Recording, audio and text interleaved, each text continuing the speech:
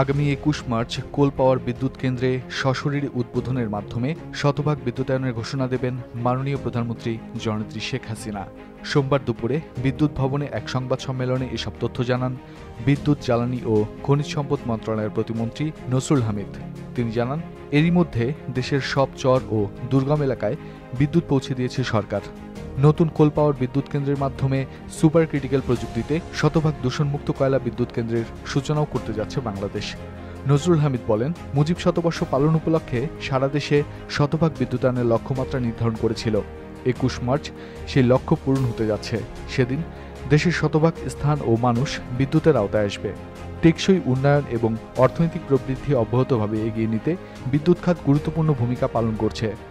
বিদ্যুৎ খাতের পরিকল্পনা সফলভাবে বাস্তবায়িত হলে প্রধানমন্ত্রী ভীষণ বাস্তবায়ন করে দুই হাজার একচল্লিশ সালের মধ্যে দেশ একটি উন্নত সমৃদ্ধ দেশে পরিণত হবে। মাননীয় প্রধানমন্ত্রী জননেত্রী শেখ হাসিনার দূরদর্শী, সাহসী ও সময়োপযোগী সিদ্ধান্ত গ্রহণ ও বাস্তবায়নের ফলে বিদ্যুৎ খাতে বিগত তেরো বছরে অভূতপূর্ব সাফল্য অর্জিত হয়েছে।